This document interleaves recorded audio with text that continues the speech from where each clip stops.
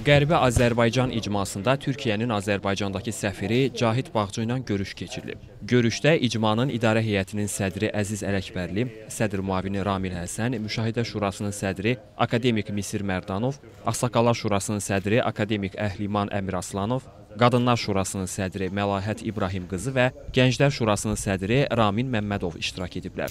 Əziz Ələkbərli icmanı ilk ziyarət edən xarici dövlətin təmsilçisinin məhz Türkiyənin səfirinin olmasından şad olduğunu bildirib.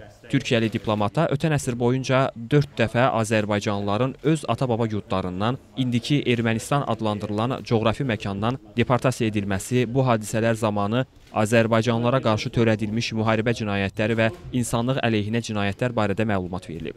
Görüş zamanı səfirin diqqətinə çatdırılıb ki, Ermənistan hökuməti qovulmuş Azərbaycanlıların hüquqlarını bərpa etmək sahəsində tədbir görməkdən imtina edir və onları vətənlərində yaşamaq hüququndan istifadə imkanlarından məhrum etməkdə davam edir. Qeyd olunub ki, qovulmuş Azərbaycanlıların Ümumdünya İnsan Haqları Bəyannaməsi və digər beynəlxalq konvensiyalar çərçivəsində tanınmış hüquqların təmin edilməsi üçün beynəlxalq ictimaiyyətin dəstəyi vacibdir.